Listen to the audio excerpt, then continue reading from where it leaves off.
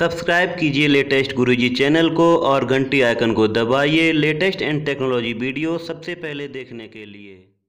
नमस्कार दोस्तों, मैं चंद्रशेखर राजपूत, स्वागत करता हूँ आपका लेके आया हूँ एक और कमाल की टैग टेस्ट तो चलिए शुरू करते हैं। शुरू करने से पहले मैं आपसे रिक्वेस्ट करूँगा, अगर अभी तक आपने लेटेस्ट गुरु इस चैनल को सब्सक्राइब नहीं किया है तो प्लीज़ सब्सक्राइब कर लीजिए, क्योंकि मैं इसी तरह से कमाल की टेक्नोलॉजी न्यूज़ लेके आता रहता हूँ। दोस्तों, आज की इस वीडियो में हम बात करने वाले हैं टीवी बाइंग गाइड के बारे में। अगर एक आप एक टीवी खरीदना चाहते हैं परचेज करना चाहते हैं, क्योंकि वैसे भी इंडिया में फेस्टिवल सीज़न आने वाला है। तो अगर आप टीवी प्रोग्राम कर रहे हैं एक लेने के लिए तो मैं आपको कुछ टिप्स बताऊँगा जिसकी सहायता से आप अच्छा सा टीवी खरीद सकते हैं कम पैसों में। और लेकिन मैं साफ़ कर देना चाहता हूँ कि इस वीडियो में सभी टॉपिक्स क्लियर नहीं हो पाएँगे। क्योंकि वीडियो ज़्यादा लंबी हो जाएगी। इसलिए मैं कुछ मेन मेन टिप्स जो हैं इस वीडियो में कवर करूँगा। जो बच जाएँगे टिप्स वो अगली वीडियो में कवर करूँगा। उसके बाद मैं इसके बाद और वीडियो लेने लेके आऊँगा कि अगर आप एक टीवी को मोनीटर तरह इस्तेमाल करते हैं या फिर मोनीटर को टीवी तरह इस्तेमाल करते हैं तो उसमें क्या क्या प्रॉब्लम हो सकती हैं? या फिर एक वीडियो बहुत ही खास रहेगा, क्योंकि अगली वीडियो हो सकता है चार छः दिन में आ जाए। उसमें मैं कवर करूँगा कि अगर आप एक स्मार्ट टीवी लेते हैं या फिर नॉन स्मार्ट टीवी लेते हैं तो नॉन स्मार्ट टीवी आपके लिए कितना अच्छा रहेगा? क्योंकि मैं उसमें कुछ ऐसे टिप्स बताऊँगा जिससे ये क्लियर हो जाएगा कि अगर आप एक नॉन स्मार्ट टीवी लेते हैं तो वो स्मार्ट टीवी से अच्छा रहता है। तो उसके बारे में मैं क्लियर करूँगा। तो सबसे पहले मैं आपको आपसे बात करूँगा टीवी के साइज़ के बारे में। दोस्तों, साइज़ एक बहुत ही इम्पोर्टेंट फंडा है टीवी खरीदने का। क्योंकि अगर आपका रूम छोटा है तो आपको टीवी उसी हिसाब से लेना लेना चाहिए। क्योंकि अगर ज़्यादा बड़ा टीवी है और आप देखने की दूरी है पाँच छः फुट तो आपको प्रॉब्लम हो सकती है। तो मैं बता आ, मैं आपको बताना चाहूँगा कि आप जितने इंच का टीवी ले रहे हैं जैसे 32 इंच 40 इंच 43 इंच तो उतने ही इंच में 1.5 का मल्टीप्लाई कर देंगे गुणा कर देंगे तो जितने इंच निकल के आएँगे, आप उतनी दूर से उस टीवी को बैठकर देख सकते हैं। तो ये तो हो गया मेन फंडा। तो आपको इसमें ज़्यादा घबराने की ज़रूरत नहीं है। हालाँकि ये सब चीज़ें इंडिया में कोई ज़्यादा नहीं देखता है। इंडिया में देखते हैं कि कम पैसों में अच्छे फीचर किसमें मिल रहे हैं, उसी टीवी को पसंद किया जा, किया जाता है। फिर भले ही चाहे वो पचास इंच की टीवी लेकर उसको पास में ही बैठ के ऐसे ऐसे करके देखते हैं, वो चलता है, कोई दिक्कत नहीं है। तो इसके बाद ये ये तो हो गई साइज़ की बात। अब आती है रेजोल्यूशन की बात। रेजोल्यूशन टीवी में कई तरह होते हैं। एचडी हो गया एच डी आर हो गया H D full H D के तो ये रेजोल्यूशन की बात हो गई। तो मैं आपको सजेस्ट करूँगा कि आप अगर टीवी ले रहे हैं तो एच डी टी वी मत लीजिए। और हो सके तो एच डी रेडी टी मत लीजिए। आजकल जो ज़माना है, वो फुल एच डी का है, खासकर इंडिया में। वैसे तो दुनिया 4K टीवी चला रही है 4K टीवी पहुँच गई है। तो आप कम से कम फुल एच डी टीवी ले सकते हैं।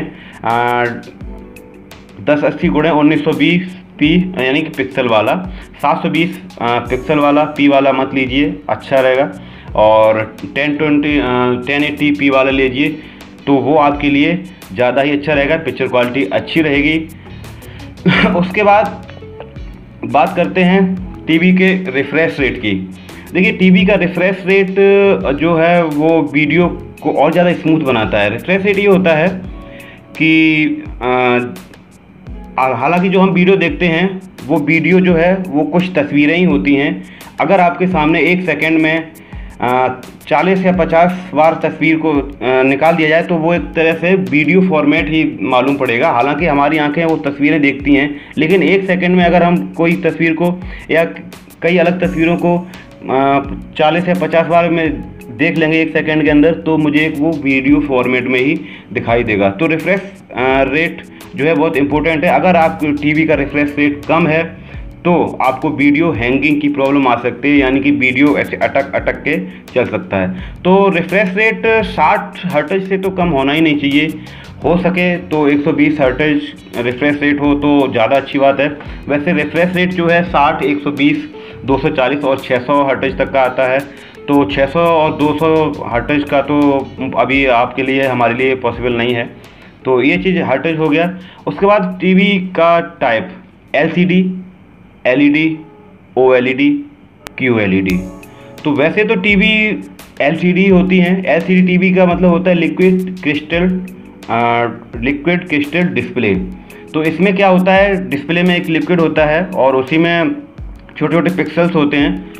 पिक्सल को लाइट देने के लिए पीछे से फ्लोरसेंट ट्यूब, यानी कि सीएफएल लाइटिंग का इस्तेमाल किया जाता है।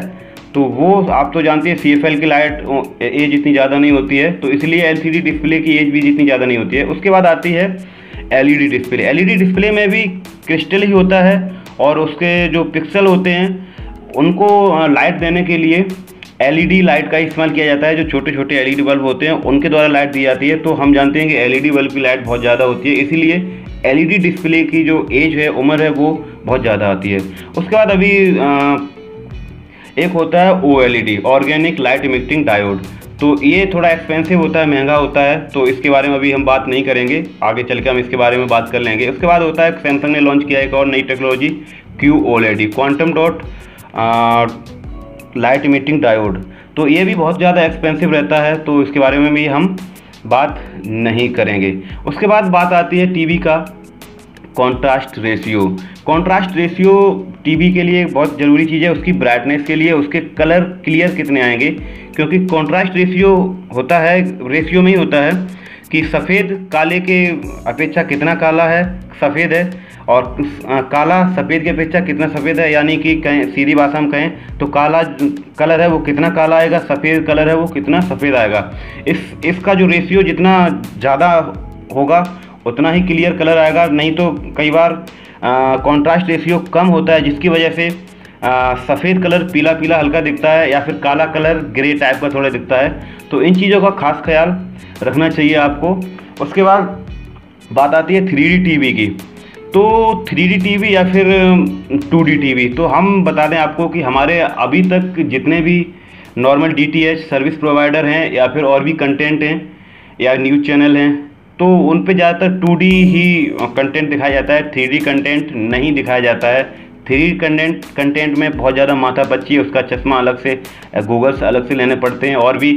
तो इसीलिए अभी इंडिया में थ्री कंटेंट नहीं है इसलिए मैं आपको बताऊँगा कि अगर आप टीवी ले रहे हैं तो थ्री टीवी ज़्यादा ज़रूरी नहीं है। आप एक नॉर्मल साइज़ टीवी ले सकते हैं टू डी टीवी उसी में आपको अच्छा कंटेंट देखने को मिलेगा। थ्री कंटेंट के लिए अभी हमें और ज़्यादा इंतज़ार करना पड़ेगा। दोस्तों ये तो थी बेहद ही बेसिक सी टीवी बाइंग गाइड अगले आ, मतलब वीडियो में हम कवर करेंगे कि स्मार्ट टीवी और नॉन स्मार्ट टीवी में से आपको कौन सा लेना चाहिए, कौन सा स्मार्ट टीवी गूगल ऐप्स को सपोर्ट करेगा, कौन सा खुद का ऐप स्टोर होता है, ये तमाम चीज़ें कवर करूँगा।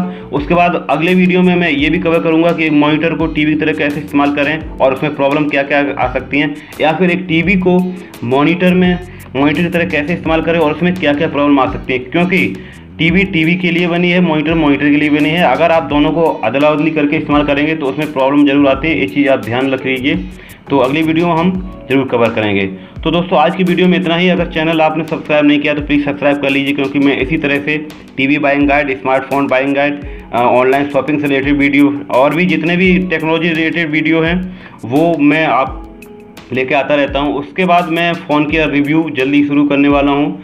तो फ़ोन का रिव्यू आप जो भी लॉन्च होता है नया, उस फ़ोन का रिव्यू मैं ज़रूर करूँगा और ये भी बताऊँगा कि ये फ़ोन आपके ख़रीदने के लिए है या नहीं। तो दोस्तों, आज की वीडियो में मिलते इतना ही, मिलते हैं अगली वीडियो में, तब तक के लिए जय हिंद बंदे मातरम।